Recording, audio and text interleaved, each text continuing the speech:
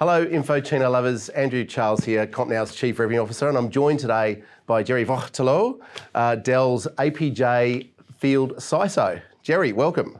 Thank you. Uh, nice to be here. Oh, it's a, it's a pleasure, pleasure to have you. Um, uh, look, firstly, uh, a big thank you uh, to Dell uh, for our award a couple of weeks ago um, at Dell Forum, and it was a client award, and we're not talking about client today, but, but some of the things that you do talk about actually relate to uh, the endpoint in, in, in, many different ways. Um, let's kick it off, Jerry. Uh, Dell has invested uh, you know, tens of millions of dollars in its cybersecurity practice uh, over the last you know, 15 to 20 years.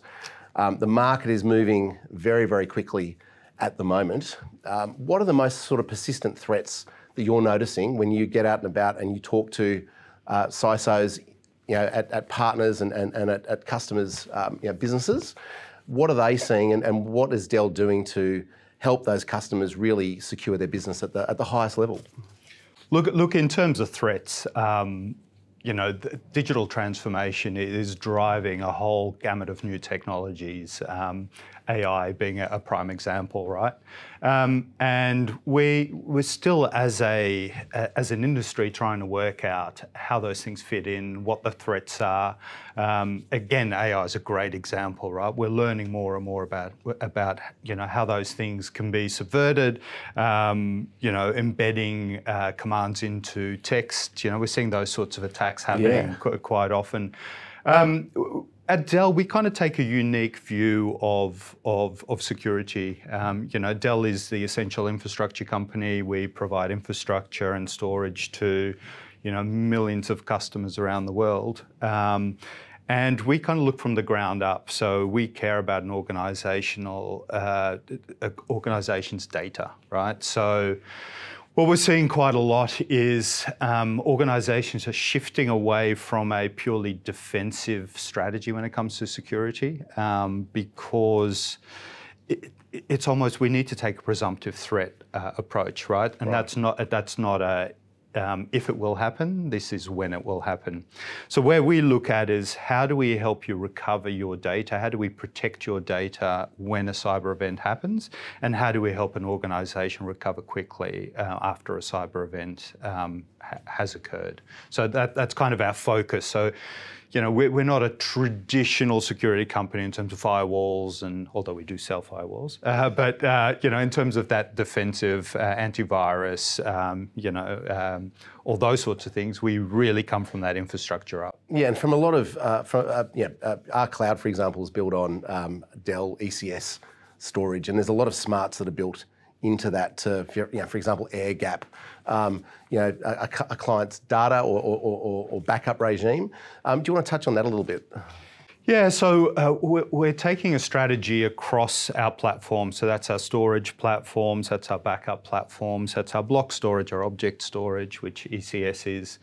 And we're looking to create a uniform layer of um, security controls. So um, you know, in the past, if you look at uh, look at our technologies, we may have had, you know, one technology supports this type of multi-factor authentication, another yep. technology another, uh, because they're different. You know, there were different development streams, but we're trying to pull that together now to help our clients um, build a more robust security uh, position.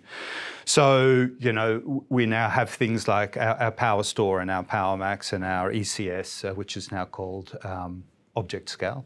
Uh, and our backup tools all support the same type of multi-factor authentication, uh, all support similar capabilities in terms of locking data. So, you know, on, on our storage platforms, we're able to make data immutable, so it can't be deleted. So if ransomware comes in, for instance, and tries to delete um, your, your production data, um, it's unable to do so because that data is locked. So we're kind of building that foundational resilience layer uh, for our clients.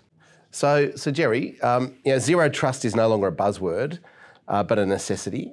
Uh, how has Dell embedded zero trust principles into its infrastructure, and what makes Dell's approach unique to organisations in, in APJ?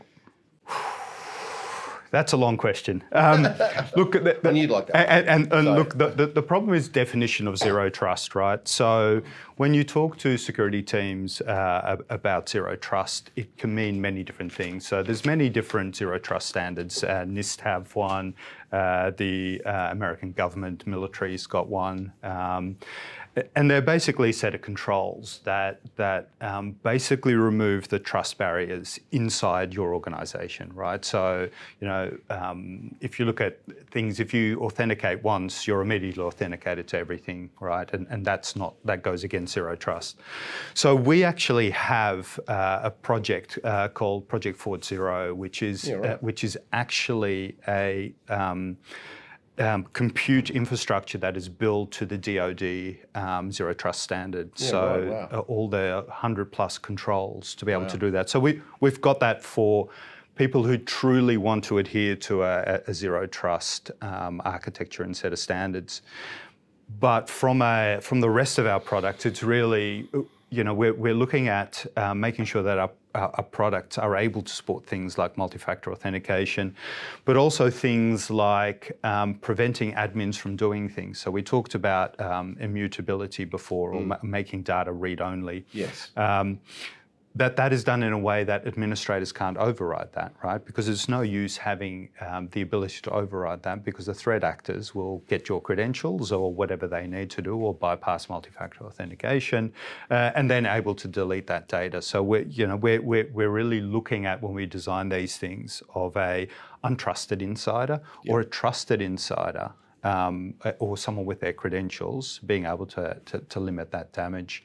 Mm. Um, the, the other bit that you kind of talked about is one of the things we've been doing for the last probably 12 years is looking at creating isolated copies of our data. So right. you may have heard of our Cyber Vault, um, which yep. is uh, our, our, backup technology, the ability to put your backups into an isolated, call it a safety deposit box, right? Um, you know, put it somewhere so it's not connected to your corporate network. So even if all of that is untrusted, you've got a safe copy. Just like if someone breaks into your house, your valuables are in your safety deposit box. Yeah.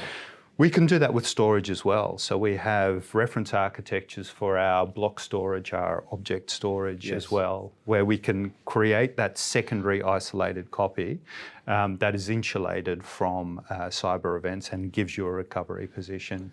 And that, that's look, that's a really good segue, Jerry, into what we're seeing at the moment in the hyperscaler landscape.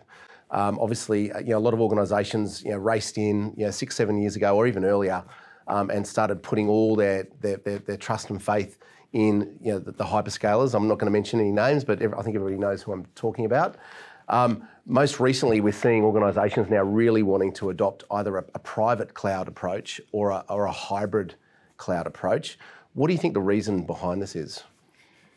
Look, I, I, I think, and, and, we were all involved seven years ago, right? Yeah. Um, yeah and look, and I think seven years ago, my, my question always was when I was talking to, to clients of ours is why are you moving to cloud? And if the answer was cost, it was a project that was doomed for failure, right? Of course. Um, there are many reasons to put workloads in cloud, absolutely 100%. But there's also many reasons to keep workloads on prem right? And to, um, to, to build workloads in an environment where you control the entire stack, right? So if you need to change retention policies, if you need to change the way you authenticate, if you need to do any of those sorts of things, you're, you're able to do this. So I think what we're seeing is a whole stack of things were moved into cloud, um, and then organizations are looking at them now going, um, this doesn't make sense in cloud. This uh, application never shuts down right? Um, you know, applications where, where things spin up and down, they're great in cloud. You consume the resources when you need them and you spin them back down when, when you don't need them, right? But, you know, stuff that runs forever, in many cases, the, the TCO uh, for running that on-prem is exactly the same. So we're seeing that and, and we're seeing security can, can um, it becomes hard if you're trying to create security policies, and especially if you have regulatory requirements to mm. report back to a, a, a regulatory authority, to now have two domains, right? So when I'm on-prem, I've got my security experts. I've had them for the last 20 years. They know what they're doing. They know exactly what's happening. When you start picking up some of those controlled workloads and put them into cloud, you've now got a completely different set of skills required right? So you can't take your existing security teams and say you now also own cloud because that is a completely different set of skills. And I've worked with clients where that bit has become too hard. It, it's it. just the re- regulatory burden around that. So, absolutely, a lot of my clients are still going into cloud with lots of different workloads, and they make sense. Yeah. But I think in, in Australia anyway, I see the maturity now where um, organisations are, are, uh, what's called you know right cloud. Yes. They're, they're choosing the right cloud, yeah. and that cloud may be um, a, a, cloud offering by a, a partner. Correct. Like, like, like you like guys. Like CompNow, for instance, right? That, that, that CompNow cloud, right? Yeah, so, correct. Yeah. And built on Dell architecture, right? But, but um, I, I, don't know a single client that uses a single cloud. No. Right? Because we've realized that Google does this really well, and um, Amazon does this really well, and Wasabi does this really well, yes. and CompNow does this really yeah. well. Yeah. Right? And you choose the right cloud. And I think understanding the customers' needs is, is, is, is critical. Correct. Um, it's interesting because D- Dell is a big supply chain business. Comp, CompNow is a a, smaller version of, of Dell in many ways. You know, we've got you know, a lot of warehouses uh, around the country. We've got a logistics centre down the road here at, at, at 294 Ferntree Gully Road. Um, and uh, I found it really interesting listening to, to John Roese, uh, your global CTO and head of your AI practice yep. globally. Uh, talk about um, you, know, um, you know, AI, the, the, the, birth of AI, and, and now being in its fourth wave.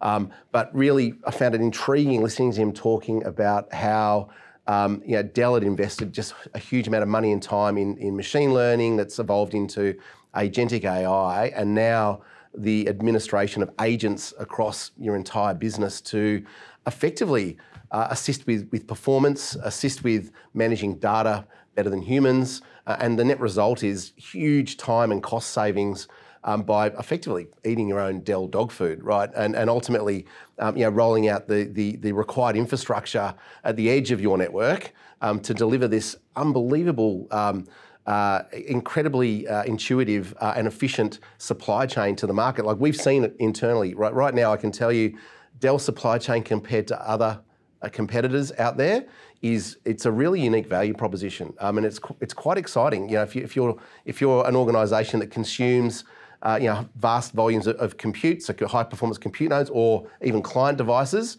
just being able to get that technology to your customer or to a specific user really, really efficiently is, is quite, uh, quite incredible how, uh, how far that's come. Um, you obviously are involved in making sure that, that, that all those pieces are, are, are put together. Um, and you're doing that at Region. But are you seeing other organisations now adopting Dell's strategy in that space? Uh, Look, supply chain's difficult, right? Um, mm. And from a security point of view, there's a lot more focus now on third-party risk, right? So um, your security protocols and your security position may be may be great, but what about that vendor that you're using or that piece of software you're using? And we've seen things like SolarWinds, right, mm. as, a, as a supply chain attack where it wasn't, you know, the organisation that was attacked, but a, a piece of software that most organisations probably had in, in, in their environment. Mm. Um, so we're seeing this increased focus uh, on supply chain, and you know, if you think about where Dell started from, you know, Michael Dell's what he did to start yeah. this company was really about just-in-time supply chain, right? Yeah. So Dell's been doing supply chain for a long time. A long time.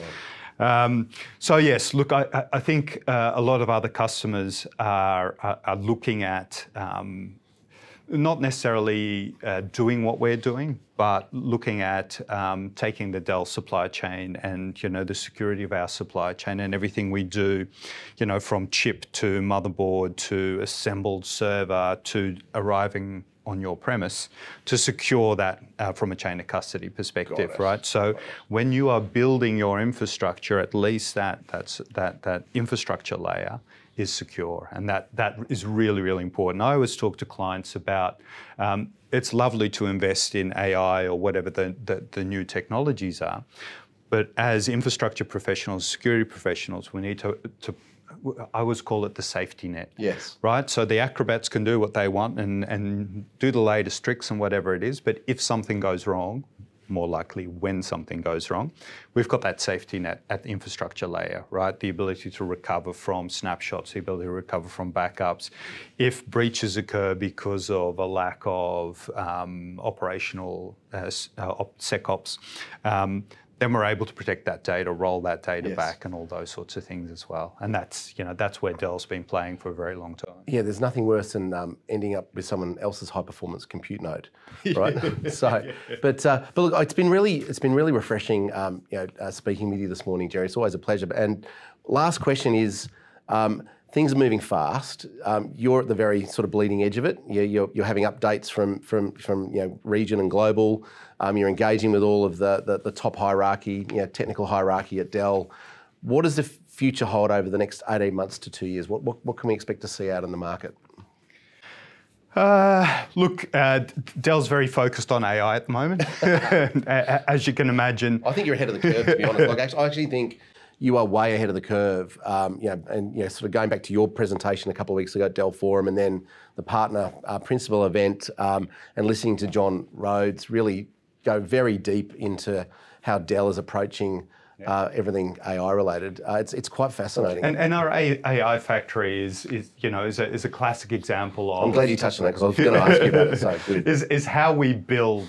Um, how we build meaningful AI for, for our clients. So it's not just about hardware, but it's about process. It's about selecting, you know, what, what projects we're going to kick off and, and all those sorts of things. Mm. But again, we we look at doing that responsibly, right? So we look at building it on infrastructure that's secure to start with and that has all of those modern security um, controls built into it. We are doing a lot of work around what else within. So we protect the infrastructure and we've done that for a long time. Yes. But we're now looking at that the AI application that's running on top of that infrastructure, how do we protect that? So, you know, our professional services, for instance, can do uh, a managed AI firewall uh, with with one of our um, with one of our other partners. Um, so we're spending a lot of time looking at. I, I guess the question, right back to the start of our conversation, we, we don't know what all the security controls around AI need to be yet. Um, you know, there's there's a lot of standards around that already, but but they're continuously expanding. Uh, and and from a Dell perspective, we're looking to offer that innovation platform to clients, but hopefully present it in a way that's secure uh, and that, that gives them that safety net to go and experiment and, and go build amazing things that we see um, all of our clients doing. So very exciting over the next 18 months. I reckon even the next year we're going to see some amazing things built on, on Dell infrastructure uh, with our partners and with our clients. No, really, really awesome. Well, look, guys, um, for any uh, questions relating to the topic that we've discussed today, or for any information on any, any of Dell's uh, portfolio of technology, we're obviously a Dell Titanium partner at CompNow. Uh, please uh, contact us at sales at compnow.com.au or reach out to your local BDM. Jerry, absolute pleasure. Thank you very much for inviting me. No, Travis, it's, and uh, been awesome. Look forward to catching up with you soon. Brilliant. Thank you. Take care. Thank you.